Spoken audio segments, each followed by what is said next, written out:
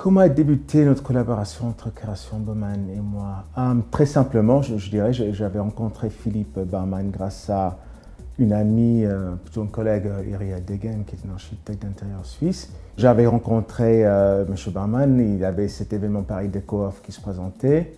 Et il y avait en même temps la collection Salt and Spices qui sortait. Donc il m'a dit, m'a proposé de, de, faire une aventure avec lui. Euh, ce qui lui intéressait, c'est que j'ai une, une biculture, je, je suis architecte américain. Ça fait 30 ans que je, pratique à Paris sur des, des chantiers divers, notamment dans, dans, le milieu résidentiel.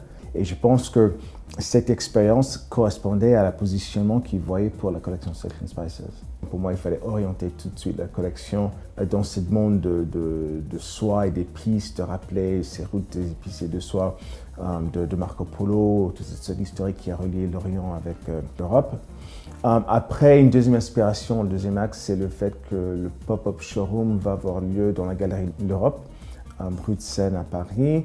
Il faut pas oublier que le 6e arrondissement, entre les deux guerres, c'était vraiment le berceau de, l'art moderne dans, le monde.